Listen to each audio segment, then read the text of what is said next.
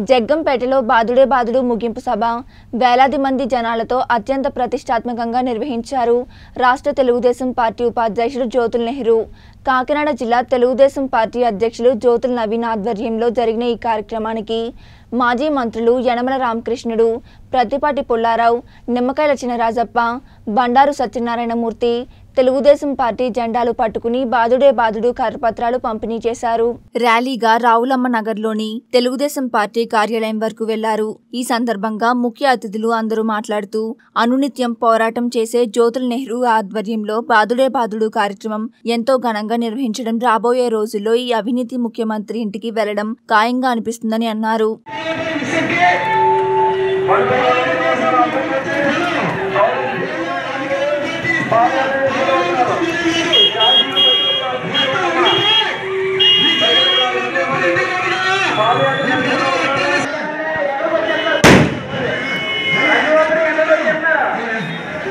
ఇచ్చినా సరే ఉవ్వెత్తున ఎగిసిపడుతూ ఇక్కడికి వచ్చి మమ్మ- మ- మేమున్నాము సో మా నాయకులు అని చెప్పి ఎంతో ఘనమైన ధైర్యాన్ని ఇస్తున్నటువంటి మీ అందరికీ కళ్ళతో ఉంచి తెలుస్తూ ఉంచి పాదాభివందనాలు తెలియజేస్తున్నాను.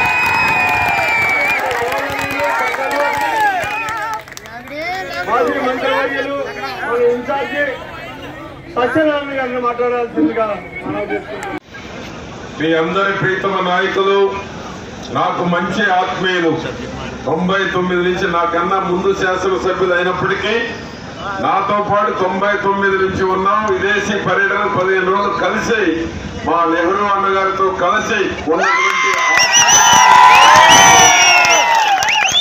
ఆ విధంగా జగ్గంపేట అంటే యూతుల నెహ్రూ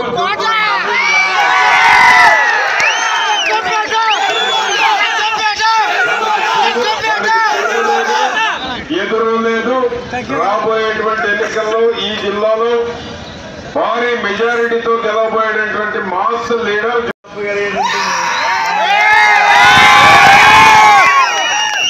మా సోదరులు రాష్ట్ర ఉపాధ్యక్షులు జ్యోతుల నెహ్రూ గారికి. వ్యవసాయ శాఖలో వ్యవసాయ మంత్రిగా పౌర సరఫరాల మంత్రిగా మరి గత ఐదు నాలుగు సార్లుగా చిలకూరుపేట శాసనసభ్యుడిగా ఇవాళ మీరు మన జోనికి ఈ ఐదు జిల్లాల జోన్లకు అనేది